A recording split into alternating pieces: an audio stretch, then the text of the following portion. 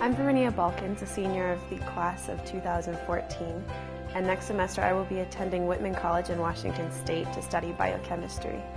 One thing that stood out, well, of the many things that stood out at Bosque, the one that has stuck with me the most and grown as I've grown have been my relationships with my teachers.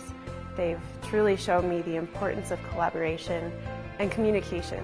I've never once felt belittled for being younger than my teachers. We're very much at the same level and the Equality harbors a wonderful environment in which we can get a lot done, and their inspiration will be with me always.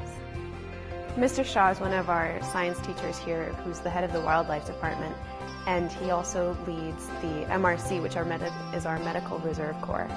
Um, through the years, the MRC has, I've seen them in action, and I knew from the get-go that that is something that I wanted to be involved with.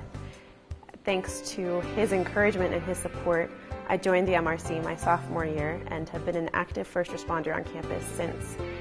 Because of his influence and um, his faith in me, I will be taking an EMT course this summer and later pursuing a job in the medical field.